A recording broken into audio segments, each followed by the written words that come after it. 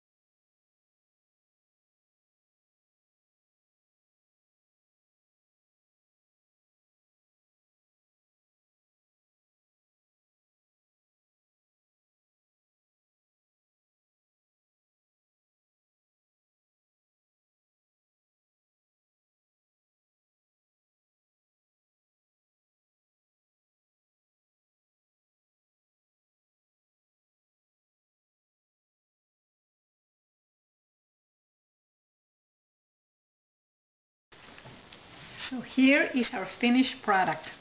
After painting it, one coat of polyurethane, sanding it, another coat of polyurethane. I actually was going to touch up all of the um, places where you can see that the paint is, is worn off, but I decided to leave it like this because then it gives it a look of lived in, not a brand new item. Everything else in the house, especially in the living room, looks brand new. This one looks like a worn out piece and I decided to leave it like this. Next week we are going to be working on the mattress and make sure that you subscribe so that you can come with us. Thank you as always very much for watching our video and make sure that you stay with us.